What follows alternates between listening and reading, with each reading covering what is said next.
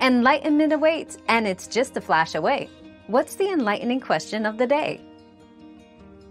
Hamsters stuff their cheeks as a survival instinct. In the wild, they store food in their cheeks to transport it to a safe location, reducing the risk of predation. Domesticated hamsters exhibit this behavior as an instinctive drive. The cheeks can expand to carry a significant amount of food, making them incredibly efficient for gathering and storing food for later consumption. Our quest for knowledge never ends. Thanks for being part of today's discovery. Subscribe, like, and share to join us on the next one.